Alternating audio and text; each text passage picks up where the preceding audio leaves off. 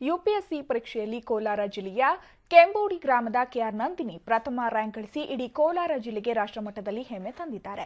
ಕೋಲಾರ ತಾಲೂಕಿನ ಕೆಂಬೋಡಿ ಗ್ರಾಮದ ರಮೇಶ್ ರಮಗಳಾದ ನಂದಿನಿ ಶಾಲಾ ದಿನಗಳಿಂದಲೇ ಪ್ರತಿಭಾನ್ವಿತೆಯಾಗಿ ಉತ್ತಮ ಫಲಿತಾಂಶ ಪಡೆದುಕೊಂಡು ಬರ್ತಾ ಇದ್ರು. ಕೋಲಾರ ನಗರದ ಚಿನ್ಮಯ ವಿದ್ಯಾಲಯದಲ್ಲಿ ಪ್ರಾಥಮಿಕ ಹಾಗೂ ಪ್ರೌಢ ಶಿಕ್ಷಣ, ಮೂಡಬಿದಿರೆಯ ಆಳ್ವಾಸ್ ವಿದ್ಯಾಸಂಸ್ಥೆಯಲ್ಲಿ ಪಿಯುಸಿ ಶಿಕ್ಷಣ, ಬೆಂಗಳೂರಿನ ಎಂಎಸ್ ರಾಮಯ್ಯ ಇಂಜಿನಿಯರಿಂಗ್ ಕಾಲೇಜಿನಲ್ಲಿ ಬಿಇ ಸಿವಿಲ್ ಇಂಜಿನಿಯರಿಂಗ್ ವ್ಯಾಸಂಗ ಮಾಡಿದ್ದು, ಉತ್ತಮ ಅಂಕಗಳನ್ನು ಪಡೆದು ದೆಹಲಿಯ ಕರ್ನಾಟಕ ಭವನದಲ್ಲಿ ಸಿವಿಲ್ ಇಂಜಿನಿಯರಿಂಗ್ ಆಗಿ ಸೇವೆ ಆರಂಭಿಸಿದ್ದರು. ನಾಲ್ಕು ಪ್ರಯತ್ನಗಳ ನಂತರ ಕಳೆದ ಬಾರಿ ಯುಪಿಎಸ್ಸಿ ಪರೀಕ್ಷೆಯಲ್ಲಿ ಆರುನೂರ ನಲವತ್ತೆರಡನೇ ರ್ಯಾಂಕ್ ಪಡೆದಿದ್ದ ಕೆಆರ್ ನಂದಿನಿ ಪುನಃ ಪರೀಕ್ಷೆಯನ್ನು ತೆಗೆದುಕೊಂಡು ದೇಶದಲ್ಲೇ ಮೊದಲ ರ್ಯಾಂಕ್ ಪಡೆದಿದ್ದಾರೆ.